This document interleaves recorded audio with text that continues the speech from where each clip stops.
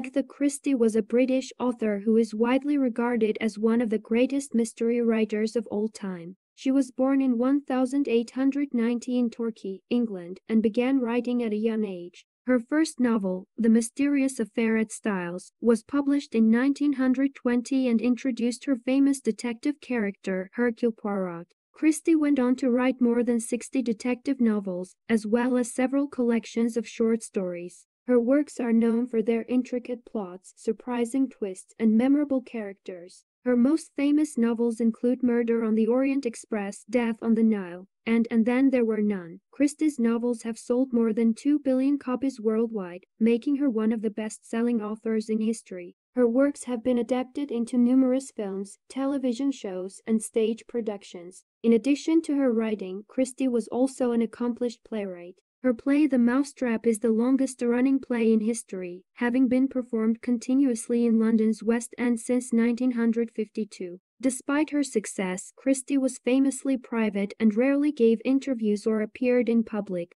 She passed away in 1976 at the age of 85, but her legacy as a master of the mystery genre lives on.